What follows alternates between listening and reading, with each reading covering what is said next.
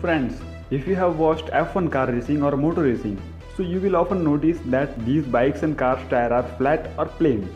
But why? Why racing cars tire are flat? If you don't know about it, so let's know the reason behind the flat tire of racing car. Friends, the cars that we see on the highway, their tires have a specific pattern and this specific pattern is very helpful for the car. The lines that found on the car's tire are called treads.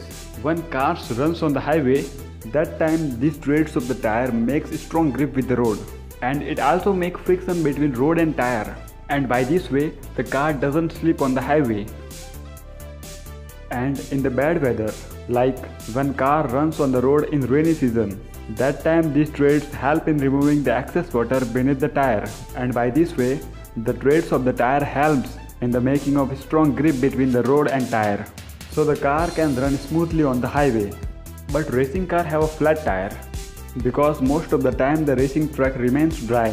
When racing car runs on the track, that time the flat tire of the racing car helps in the making a strong traction between the road and tire and by this way the flat tires of the racing car hold the road well and because of flat tire there is a low friction between the road and tire. And by this way the racing car can run smoothly on the track.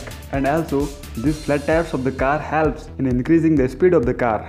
That's why flat tire are used in the racing car and also in the motor racing. Friends in making these short videos we work very hard for you so please don't forget to like this video and also subscribe our YouTube channel to watch such amazing videos. And if you have any question, so please write in the comment box.